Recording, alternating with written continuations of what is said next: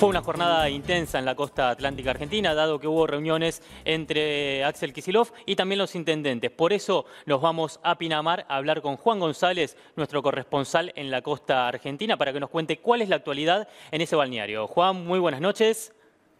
¿Cómo andás, Martín? Acá estamos, 9 menos cuarto, a un par de cuadras nomás de la playa de Pinamar. Una noche un poco agitada, tenemos, no sé si se llega a ver de fondo, todos los guardavías de Pinamar están haciendo una medida de fuerza. De hecho, nos acompaña Fernando Espinac, que es el secretario de organización de AGP, que es el gremio que nuclea a todos los bañeros, que nos va a contar un poco acerca de esta medida.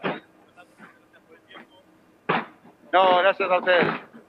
¿Cómo es la medida que están llevando a cabo hoy?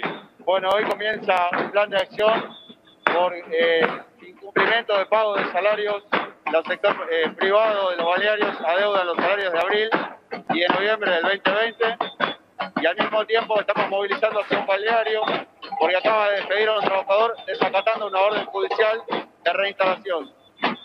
¿Hay posibilidad de que haya un paro de, de los guardavías antes de que termine la temporada? Sí, de hecho nos encontramos bajo conciliación obligatoria por otro, otro conflicto que es la falta de recomposición salarial este conflicto todavía se encuentra bajo la conciliación obligatoria, pero vence el 26 de enero. Si se dicta la prórroga, el 26 de enero se libera el gremio para media acción. Y por otro lado, este otro conflicto ya está en el estado de, media de fuerza. Martín, te lo dejo a Fernando por si le querés hacer alguna pregunta. Fernando, buenas noches. Eh, ¿Cuál es la situación de otros bañeros en otros balnearios de la costa atlántica? Bueno, buenas noches. Bueno, hay diferentes grados de, de conflictividad en general. En este momento, eh, el municipio de Magdalena tiene un grave conflicto con conciliación obligatoria por, eh, por posible paro. Eh, digamos, ahí se ha denunciado media de fuerza, también por una cuestión salarial.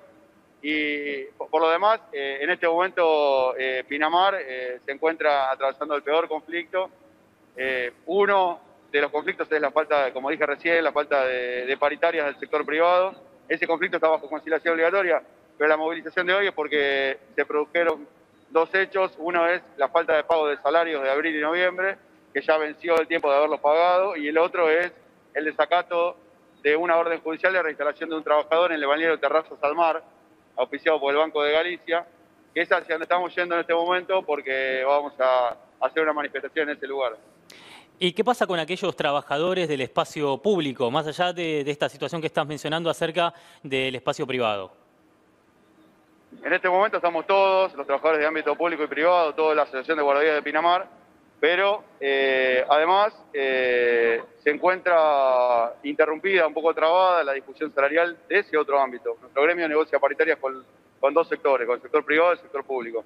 Y tampoco, eh, digamos, en este momento se encuentra trabada la, negociación salarial con el municipio y de no destrabarse de no destrabarse, incluso podría agravarse con medidas de fuerza que comprenda a ambos sectores.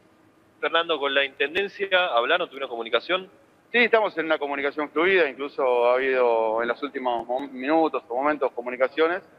Eh, eh, el diálogo en los últimos años por la recomposición de salario con el Estado tuvo canales más normales que la discusión privada es por eso que ya la discusión con los privados, aquella paritaria ya se encuentra en estado de conflicto, pero como te decía, esta manifestación de hoy, las medidas de acción directa y posibles huelgas que vengan, obedecen a la falta de pago de salarios, no a la recomposición. Son dos problemas, uno está por delante, el otro viene por detrás, el problema por detrás es la falta de pago de salario y el problema por delante ya se resolverá cuando se levante la conciliación obligatoria. Bueno, muchas gracias Fernando. Sí, Fernando, muchas gracias, muy amable. Eh, esperamos que se resuelva la situación laboral de ustedes. También para que haya mayor, mayor seguridad eh, para quienes van a la playa. Muchas gracias, Juan. Próximamente volvemos con vos. Abrazo.